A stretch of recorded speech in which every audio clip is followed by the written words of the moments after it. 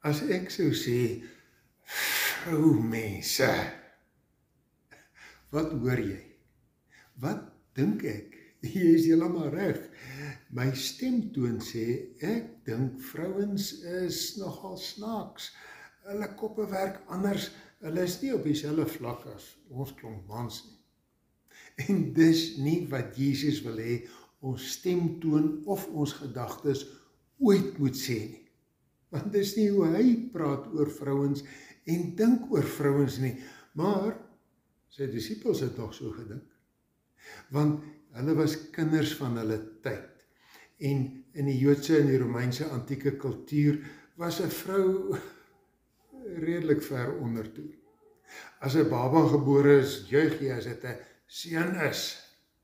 En weet jy Eksodus 20 wat ons lees vir die 10 gebooie sê vir ons hoe dat die kultuur oor maar vrouens gedink het want daar by die 10de gebod wat sê jy moenie jou naaste jou naaste man se eiendom begeer nie word daar gesê saam met die os en die esel is een van sy eiendom se besittings 'n vrou en jy moet haar nou ook nie begeer nie en Jesus het gesê ek is anders as my kultuur. En daarom kom hy heel eers na Maria toe en sê jy gaan 'n baba kry terwyl die kultuur so sê gaan praat met haar eienaar, haar verloofde, haar man. Reël met hom. En Jesus juig oor vroue disippels terwyl al die ander rabbies sou gesê het kry vir jou 'n paar ordentlike mans disippels. En toe met die kruisiging en met die opstanding wie is die mense wat die getuies is? Die vrouens wat by die kruis staan vreesloos. En na die opstanding toe kies Jesus 'n vrou Maria as die eerste getuie. En hy kom na haar toe en sê Maria ek leef.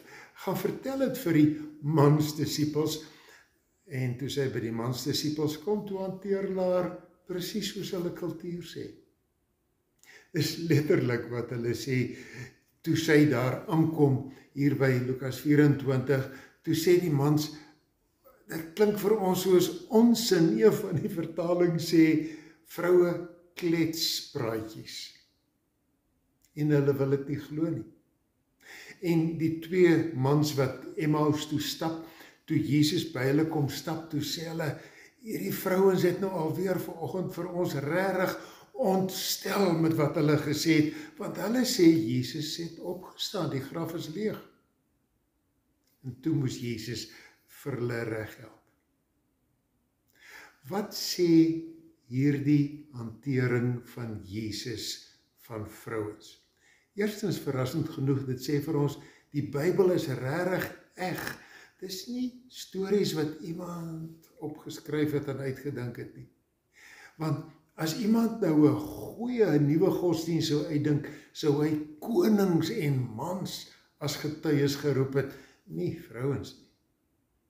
Maar en dis die belangrikste boodskap. Jesus sê ons kultuur moet drasties anders wees as die Bybelse tyd se kultuur.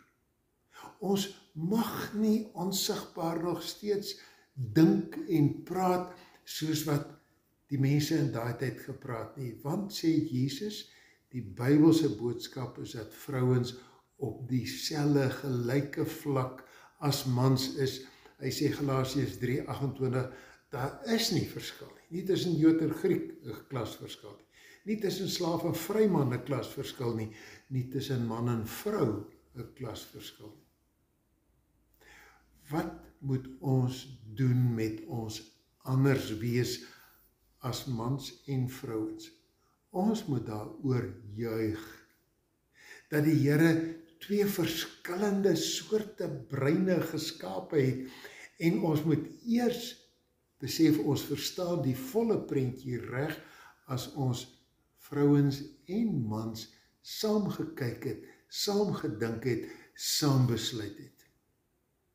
En daarom moet ons mooi kyk na ons kultuur dat ons onsigbaar nog steeds sulke denkwyses het van mans is daar 'n bietjie anders en bietjie beter as vrouens. Dink mooi. Dit is nou amper 100 jaar 1925 dat vrouens stemreg in Suid-Afrika gekry het. Want voorheen het ons gesê los dit vir die mans, ons sal besluit wat is die beste. 19 eeue het dit vir die Christene gevat om Jesus se boodskap by ons kultuur verby te kry dat hy oorneem. En in ons kerk ek hoop en wens dat die geloof en die brein van vrouens in elke kerk voluit benut word en nie net die mans wat alleen ouderlinge en leraars is nie. Dat ons regtig sal sê die Here het die eerste kosbaarste getuies van sy opstanding vrouens gemaak want hy wou sê hulle is kosbare getuies om die boodskap van Jesus Christus uit te dra om die lewenstyl en die kultuur van Jesus Christus uit te dra.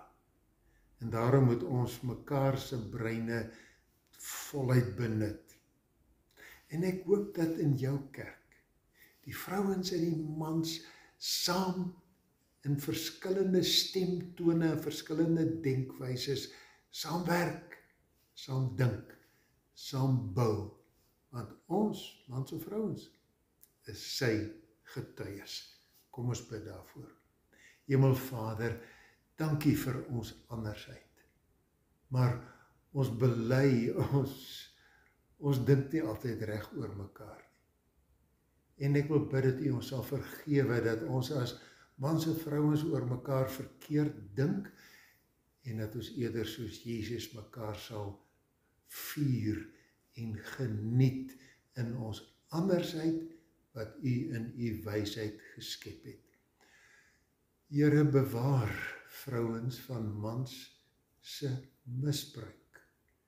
Seën elke vrou met 'n goeie man wat saam met haar vir u sal dien. Ons bid daarvoor in Jesus naam. Amen.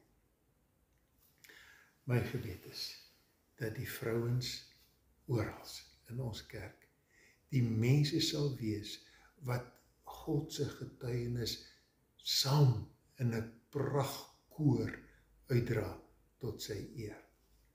Seënwense